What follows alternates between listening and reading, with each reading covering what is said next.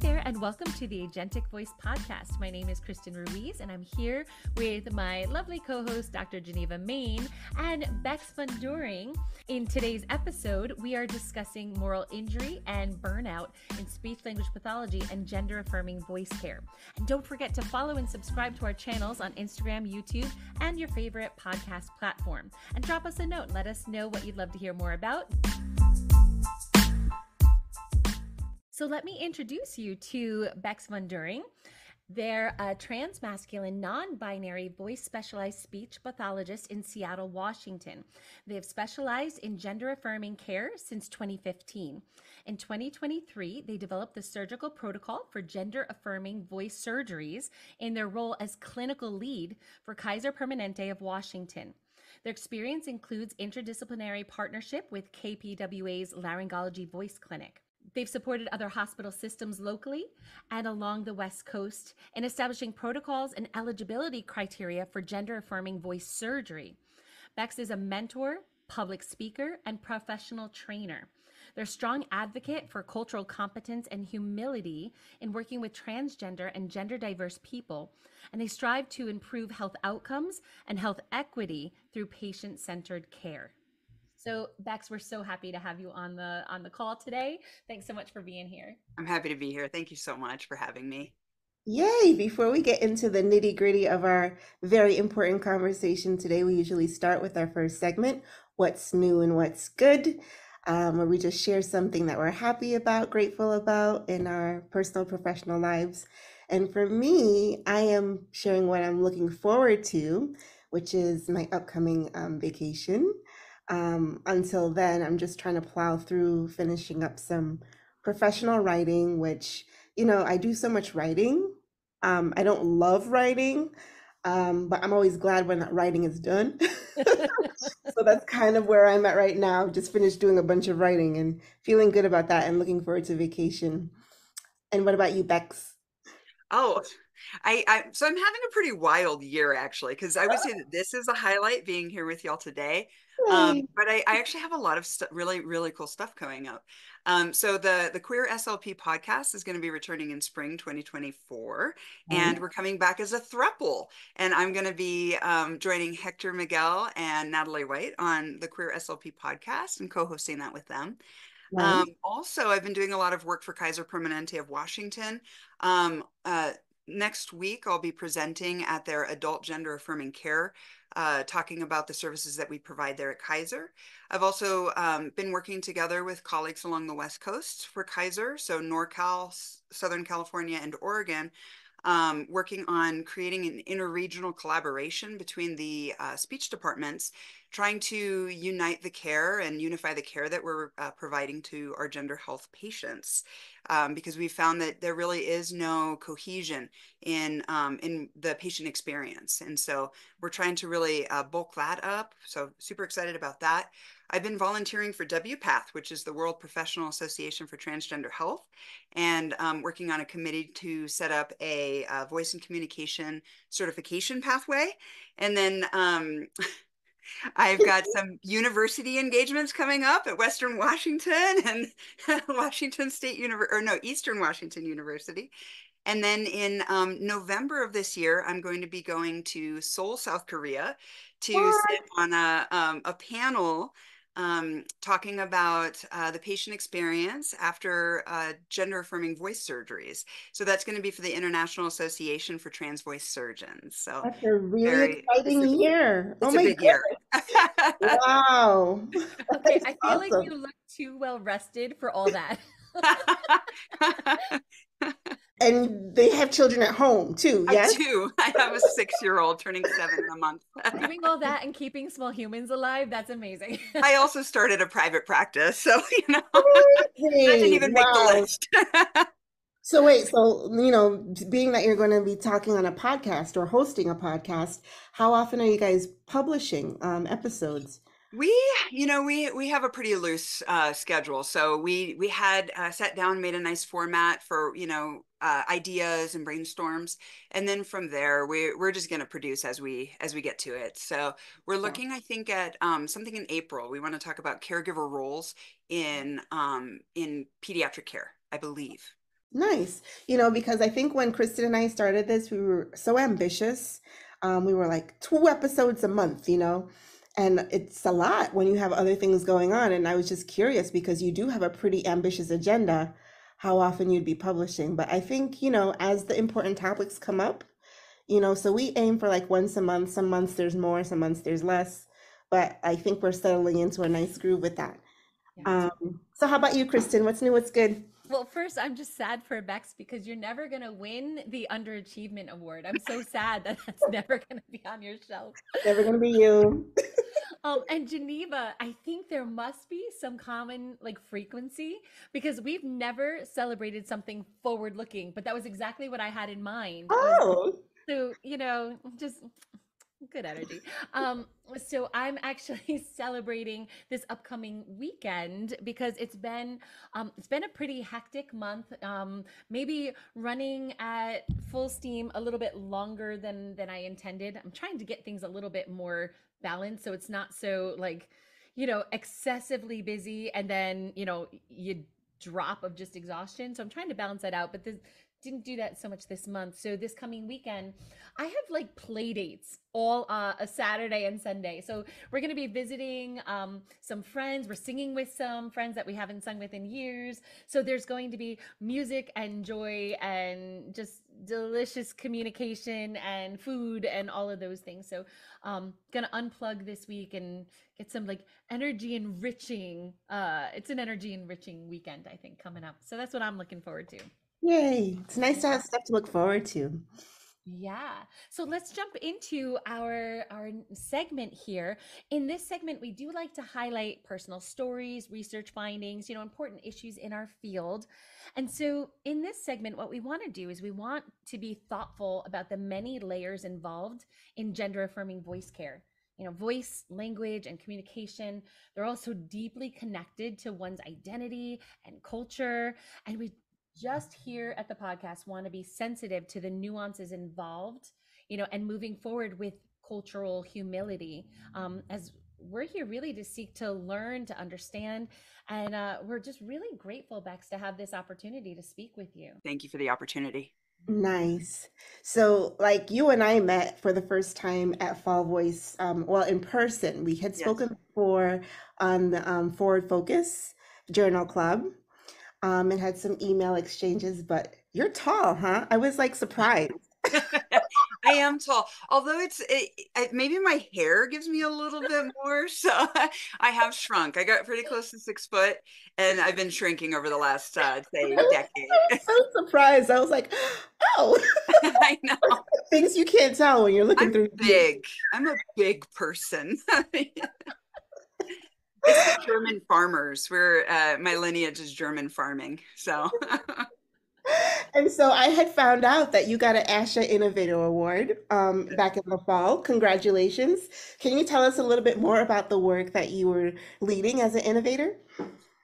Um, you know, a lot of um, a lot of the way that I wanted to drive um, that conversation about innovation and SLP was um, talking about how you can take small steps that have large impact. And so, you know, one of the first things that happened when I started at Kaiser Permanente was, and it was actually a different company at the time, but we had um, we had these templates that we were using in our Epic and our um, electronic medical records that um, just kind of needed updates. I, you know, I kept finding myself just re rewording things and went to my boss and said, "Hey, how about if we, you know, if I become an editor on these and start updating them?" And um, and from there, I, I really took the lead on being able to uh, edit all of the templates that our entire um, uh, department uses. And through that, I was able to create a lot more cultural competence for Kaiser uh, by, by being one of the first departments where we use people's names um, rather than their insured names, their, the name that they use in public. Um, by making sure that people had access to their pronouns in the records before uh, the database would pull that in. Um, and then just kind of, uh, you know, trying to keep your your ear to the ground in whatever work that you're in and trying to find places where equity and um, diversity and inclusion can be improved because that i think is you know when you're working especially for a large corporation or a large company um, you know this stuff wasn't baked in from the beginning. And i always say that diversity and um, dei be needs to be baked in from the beginning. And if it isn't you're fixing it forever. And so i think a lot i think i was nominated i was nominated by Maura Filipino um, and she did that because she knew how much work I had been doing at, at Kaiser to improve the DEIB um, aspect for the clients and also for the providers who were working there. Yes, um, I like that you said when DEI is not baked in from the beginning, you're fixing it forever. Um, so part of the things, one of the things that I think about a lot when it comes to trauma informed care is when you need to repair, right? You try to create safe environments. Um, and that's if you have the intention of creating a safe environment. Some people don't even think about that. But like, um, even though you try and create a safe environment, sometimes you need to repair. And in instances um, where you might have a homogenous field, for example, that doesn't um, take into consideration, you know, the diversity of of humankind, you're forever trying to fix what wasn't put in from the beginning. And we're going to talk about that a little bit more. Fixing the numerous issues within our field is on a lot of SLP's minds right now. And I love the Instagram post you created that fixing SLP was going to be through doing that DEI work and fixing moral injury in SLP. So, can you tell us a little bit more about what you mean by that? I mean, I'm familiar with the term moral injury, but I don't think necessarily in the context that you're using it. So, can you flesh that out for us? Absolutely. I learned about uh, the concept of moral injury in healthcare about two years ago, but it was starting to really come to fame um, just before the pandemic. And um, what was happening was physicians were complaining about not having enough time with their patients, having to put in um, prescription requests numerous times, referral requests numerous times, knowing exactly what it was that the patient needed doing everything that they needed to do to get those services for the patient, but there were still structural structural um, barriers that were preventing these providers from providing the care that they knew was best for their patients. And um, and I really thought about that as a speech pathologist at at Kaiser, which is, you know, I, I have found to be a really wonderful place to work. I've been there for 15 years. I love it there. Um, but we see um, these moral injuries throughout our experiences as speech pathologists. Um, and so I started to dig into that uh, information. And the biggest thing that I had learned from that was that it, it, it, had stemmed from the 1970s after soldiers were coming back from Vietnam War and they were trying to treat these soldiers for PTSD. And it turned out that they were using the wrong cure because it was the wrong disease. And then they were starting to discover that these soldiers were actually being impacted by moral injury.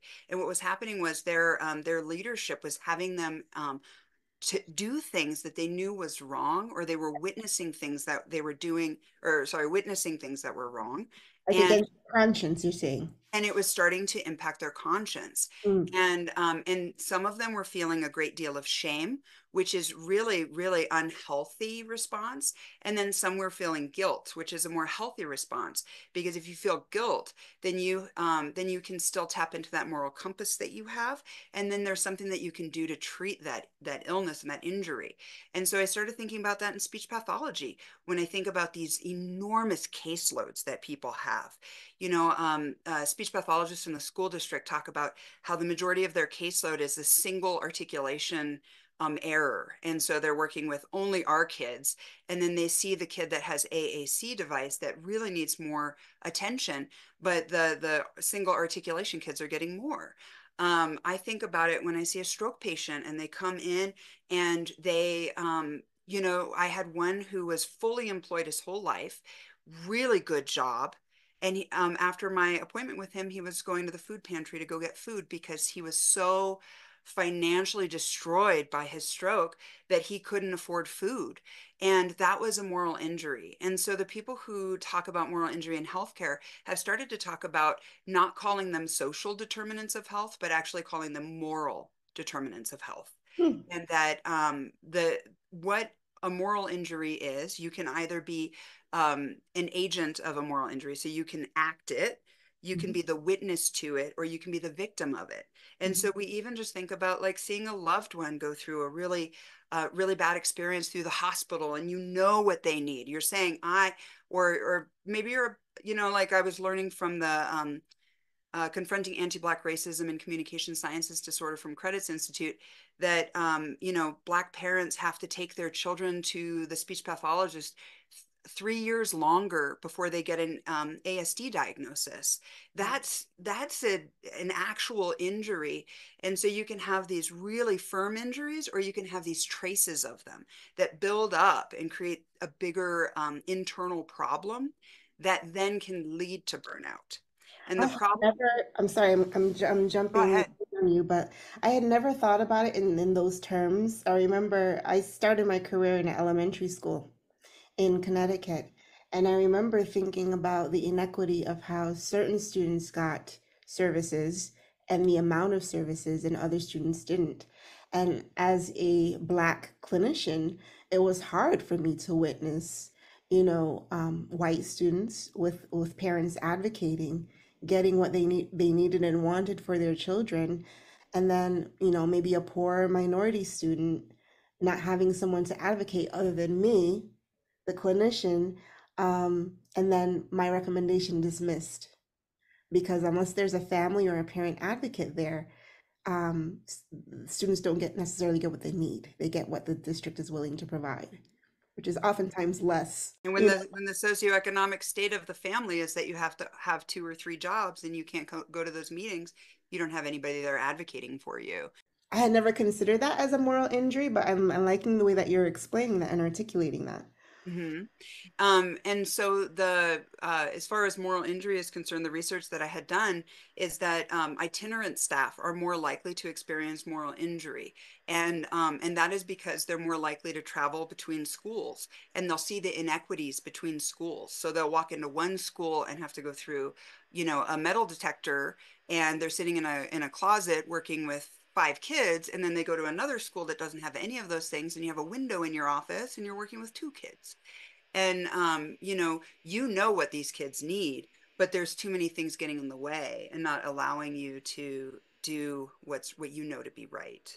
And the flip side of that is when you have staff saying but you're the clinician why doesn't this person get this and that sometimes you can even be blamed as the clinician for someone not getting what other people think they deserved. And they don't know the power structures that are in place to keep even your recommendations from being heard in that kind of a setting. So it is, I wonder how I survived that, honestly.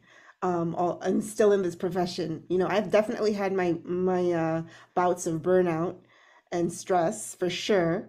Um, and I think about sometimes you see SLPs post on social media and you're like, yeah, I could that resonates with me, but that's not thankfully the place that I'm in now.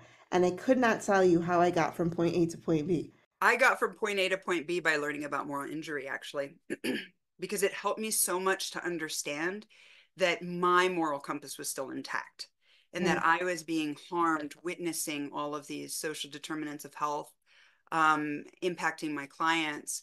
And um, yeah some other some other data that i had learned was you know asha does uh, surveys of of speech pathologists. You know 10% of outpatient clinicians say that they are asked to do something that they do not feel that they are trained to do. That's a moral injury. It was mm-hmm. almost i think the number was about 25% of people uh, working in um, SNFs report being um, told to do something, um, to do a test or a treatment that they did not find appropriate, but still being forced to do it. So these are these are those uh, residue, moral injury residue that builds up to burnout. And the the difference between moral injury and burnout is that burnout actually has a definition, and that definition is that um, the workplace stress is not well managed by you. Well. Mm there's only so much stress management that you can do. There's so much yoga you can do, so much, you know, maybe you give me a pizza party every now and then, but that's not going to fix the bigger problems. Right. And so um so the solutions to burnout, that's why I mentioned the stuff after the Vietnam War, the solutions to burnout do help burnout, but they don't help moral injury. Moral injury requires a collaborative approach between clinicians, administrators, politicians, and they actually do have advice. And the the person who does moral injury um, podcast, I wish I could remember the name. I'll send it to you when I'm done.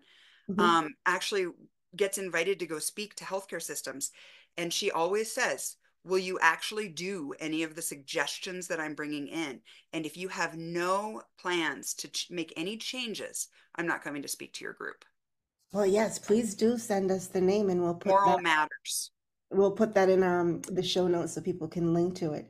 And you know, since you've said what you've said, you know, now I think that maybe I'm on the other side of um, burnout and moral injury because the doctorate that I did was specializing in trauma and its applications to communication disorders and now my advocacy is so advocacy is so much for trauma informed principles in um, in our in our national organization in all the settings that we work in.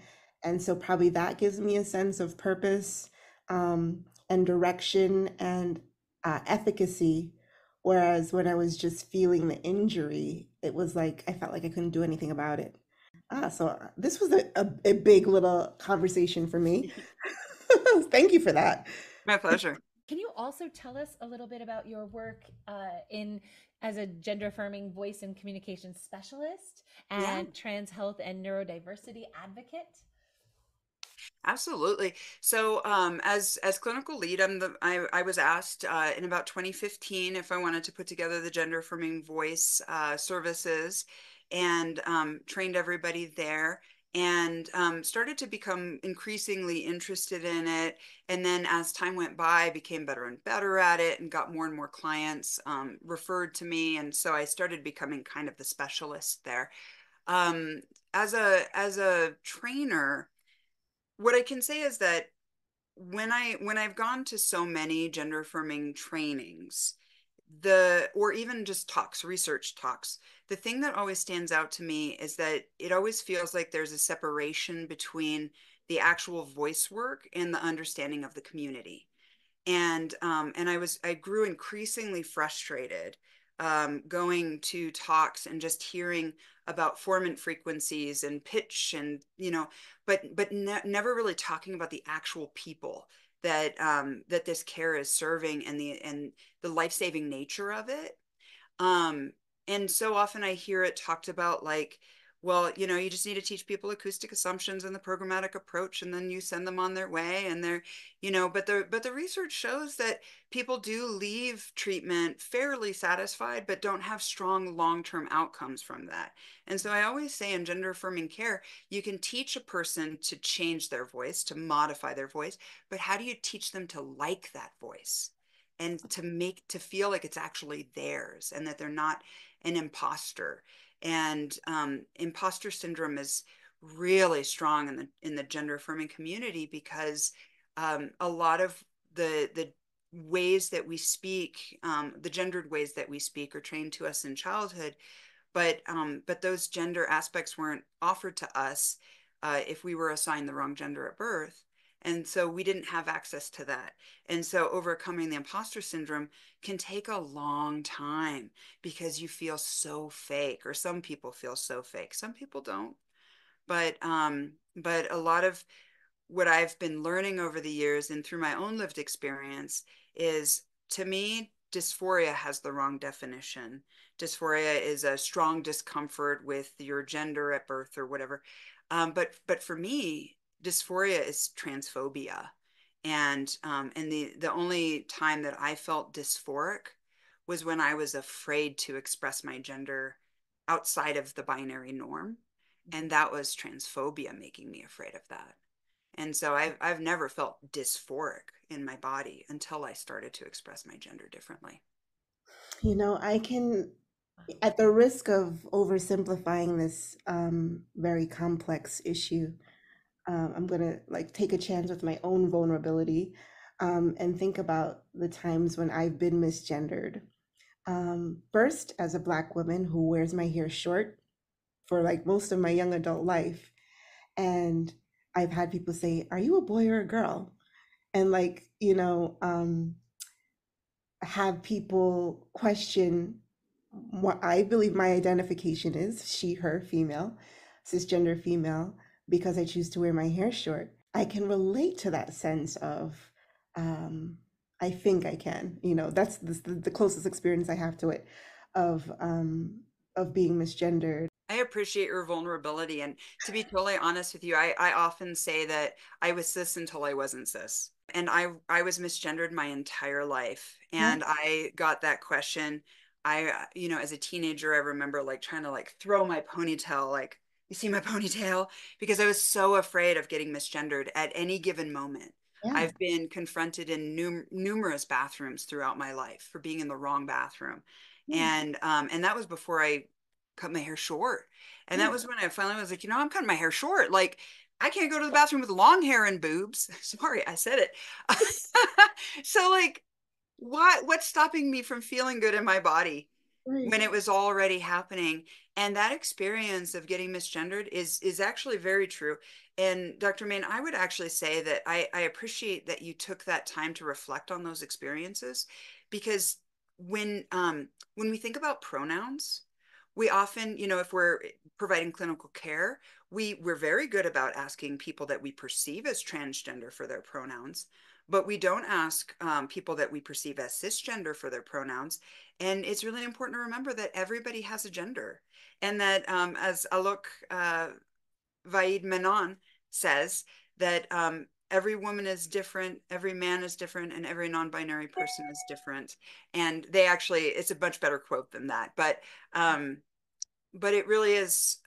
I, I think it is important for every person um, to really explore their experience with gender and um, and and take that time to understand those moments that you know something felt really not in alignment right i love the way you express that um, and it's so funny because I don't know if it was your, I follow a couple of different Instagram pages uh, where people talk about gender forming uh, care.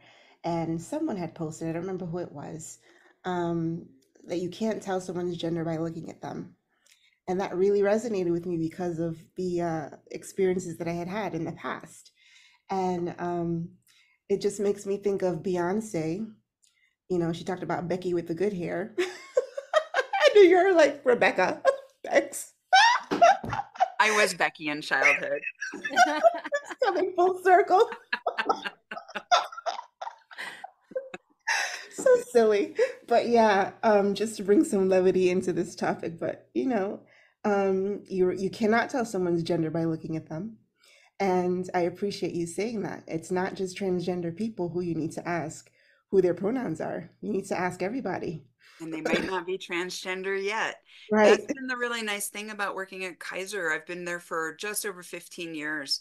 And so I've seen I've seen clients come through the door at 2 and 3 years old, come in for a learning test at 6 years old, come back for another learning test at 13 years old, and um and now at 13 they have new pronouns. And you know we look back at all the other stuff and you wonder like okay this was a kid who was thinking about it probably the last time they interacted with our department and how safe did we make them feel and how affirmed did we make um, how affirmed did we make them feel as they were coming in and and you know we we start getting their pronouns now when they're 13 but i i ask every patient now. I introduce myself with my pronouns. I ask every patient. They usually look at me like i'm growing two heads but it's what we got to do. Yeah, I, I definitely think it's a good practice. You did ask me also about um, uh, neurodivergent um, affirming care. And one thing I will say is that there are exceptionally high rates of ADHD and autism in the transgender community. So, um, so knowing how to provide multi-modality instruction um, is really helpful for that community. You can't just come in with a bunch of analogies you know i, I often say in voice care the best the best voice teacher is get comes up with the best analogies for that person right um, but but the, that's not always the best way to do that care and so you really have to be able to pay attention to that person's learning style and really adapt your work um, i try to i learn from ruchi kapila and um, have little like pop you know the packing bubbles for people to pop and little fidgets. I offer fidgets for people. I'll also say, you know, if you have any stims that make you feel comfortable while we're doing our work, please feel free to use um, use your stims. Um, this is a stim affirming environment.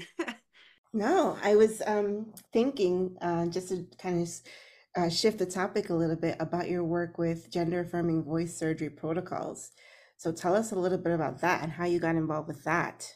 Ah, the um, the Washington Health Authority uh, said that any services that are provided to one community gets every community gets them, and so um, we have a laryngologist on staff, Dr. Stephen Sheff. He's an incredible surgeon.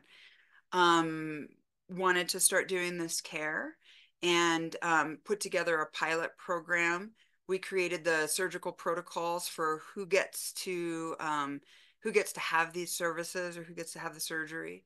So we um, honestly just had to dig through as much research as I could, but I would say it was extremely difficult to find uh, post-operative and pre-operative care instructions. We really, truthfully, I had to build so much of it on my own and now, as I'm reading more and more and more um, articles are being written about these surgeries, there is better uh, post-operative care advice, but a lot of it I was having to figure out on my own. Um, well, and with with my colleagues. I mean, I was often collaborating and asking, of course, but we had to develop those on our own. Um, but now that's that's the beauty of this interregional collaboration that we're doing with Kaiser. Um, Southern California and I think Northern California are also about to start I think I'm allowed to say this. Um, phonosurgeries. Uh, they're they're looking into them, and um, and it was it's really nice because the people down down south were able to reach out to me, and I was able to send them everything that I had. So every preoperative, every postoperative protocol, um, you know, any strategies that I had learned along the way. Yeah, are there any strategies or protocols that stand out to you as like that that really delighted you to be able to get those on board? You know, actually, the thing that was uh, that people are bumping into the most is so many surgeons will set a pitch requirement. And so they'll say that a person can only receive the surgery if they cannot achieve 150 hertz or 155 hertz. Um, but there's a lot of research out there that says that a, of a person's pitch needs to be at about 185 to be assumed female. And um, so that number by itself is a bit off. But then it, there's also that idea that, okay, well, if a person can produce that sound for one minute or five minutes, that's not what they what they can do all the time. Um, so many of my clients that I'm working with can read in a perfect voice, but as soon as we move from um, reading to speaking, the, their voice instantly shifts back to uh, having the older dynamics. It makes me think of tessitura. You know, just because you can do it for a short period of time doesn't mean you can do it the whole time. Range and tessitura live very differently in yes. the experience of singing. Yes. very cool. Um, so uh, I, you know, as we're wrapping up this segment, I'm thinking the big takeaway for me is how important it is. I'm watching you as you're answering and talking. And uh, just like when you're living in your purpose and you um your your purpose and your work is aligned with your values and your goals, how just good that makes people feel.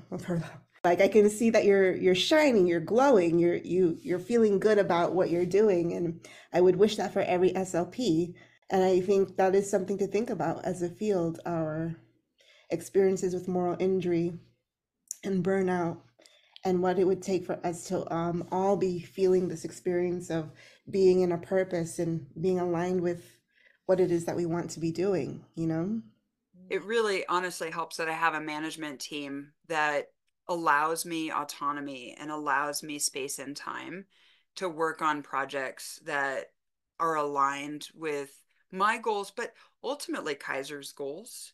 Mm-hmm. Um, I mean, I we we do our meetings during lunchtime. We're you know it's not technically paid time that we're doing our meetings to do these things, but you know it's it's for the good of the patient, and so the the happiest employees are the ones who can create their own job. Yes.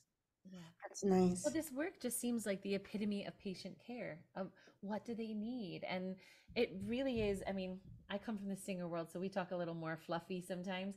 But I mean, it just seems like an act of love to be able to give, to present a space that's safe and speaks to their their value and who they are in the world and that's good work to be a part of. Yeah. And when you can do it properly, you can align like their cultural things too. So, you know, some some aspects of a feminine perceived voice is that there's more of a legato pattern and not a staccato pattern but you know I, I, work with asian clients who speak who speak monosyllabic and uh, first languages and so they have a more staccato pattern in their accent. So being able to be um, to understand a person's intersectionalities and understand that they have um, that they might have a little bit of an accent they might not want to get rid of that accent. So what should what should their voice sound like with that accent. And so, really being able to um, use metatherapy techniques about, um, you know, turning them into their own voice clinicians so that they can listen, uh, pick up strategies from their communities and bring them into themselves. Because I sound like my friends. And ultimately, I always tell my clients, you, are not supposed to sound like me. I'm 43 years old, transmasculine. you're not supposed to sound like me. nice. I love yeah, that. Empowerment. And speaking of empowerment, let's go into our next segment. Um, so, in this segment, we love to feature a practice that facilitates um, agency and freedom of voice. So, do you have a specific thing that you would like to share with our listeners today? Yeah. Um, we recently at Forward Focus read an article by uh, Dr. Eva Van Leer about um, homework adherence and voice. And um, the strategy that I've really taken off with is this idea around um, people's adherence to homework is best improved when they can see themselves being successful with something. And so if you're trying to learn something, um, the best thing to do is to record yourself doing it and doing it correctly and watch yourself doing it and then using those videos or list those audio clips to uh, to support your homework and um, learning from yourself rather than learning from someone else. Because if somebody sees me um, on a video doing forward focus resonance, um, the, they might just go, well, of course you can. You've been doing it for 20 years. Um, you know, as opposed to I'm brand new at this. I don't know how to do this. And so um, I've really taken that and started to just get scared a little bit and actually just play audio samples back with people have them listen see if we can figure out the spectrogram together see if we can figure out where your formant frequencies are and um and and really try to look at like the amplitude of the sound wave and you've got too much loudness there let's see if we can bring that down and teaching people to use um, the technology that's available to them um, in uh, in a safe way because i'm learning it too. Um, at kaiser so much of the time we just used our ears and then in my private practice, I have a lot more tools because I've purchased them, um, a lot more tools at my disposal. So I'm I'm taking some risks now and I'm teaching people to use the software. And so I think learning from yourself and then learning from the clinician and really um, having the clinician ask you, what did you do? How did you create that? How did that feel? How did that sound? Um, really helps people um, understand that that I'm not in charge of their voice, that they're in charge of their own voice, and I'm their co pilot. To me, it reminds me of the practice of self reflection. Um, when you can like jot down your thoughts and listen to them, in this case, record your voice and listen to it, then you're reflecting back do I like the way this sounds? Um, what tools can I have to improve? You know, what's hard about it for me, you know, and this is an application that I've had to do with singing voice. Um, is building the routine in into my daily routine. That's the part I think that's a little bit hard, but that's a great uh, agentic practice. Thank you for sharing that one. We can also put that article in uh, in the show notes, the Eva Van Leer one. I'll send that to you because she actually also recommends in that article really setting up okay when are you going to do this ah nice tether trying to tether that activity to something you're already doing so habit stacking cool we can put them both in in the show notes yeah um, what I was going to say also was that I love the idea of getting on the same side of the table as the client, the student, the same, like whatever, whoever you're working with, and figuring it out together. And um, I think that there's there's an inner intuition that sometimes gets shut down, and so those questions that you just presented are a way to kind of awaken that that embodied knowledge the somatic knowledge the the intuition that comes from from experiential learning so so that's great get on the same side of the table and figure it out together as opposed to i have all the answers you take it I found that it also helps um, with intra-rater reliability because um, when we actually sit down and listen to it together and talk about it, it's interesting what can come back sometimes. A person might come back and go, you know, I, I loved it yesterday, but today I listened to it and it was terrible. And I'm like, you're a different person today. What happened this morning? And so it, it really affords us the opportunity to understand that the way that we respond to the things that we create um, can really feel different differently at any given point. and um, that kind of agency i think is what makes a person a better voice clinician for themselves Yes, I'm excited to read these articles. This conversation has been awesome. I don't know if there's any last um, nuggets that you'd want to share with us. Um, if not, we can do our closing. I think my um, my last nuggets are to um, to remember that um, that transphobia is pervasive, that it's strong within the individuals themselves, and that when you're working with a, gen, uh, a transgender or gender diverse client, that they they might be experiencing their own internalized um, transphobia, that there's a lot of trauma associated with that, and that um, you you really have to be prepared to put on your counseling hat a little bit, but also really learn how to shift from the counseling to the actual work.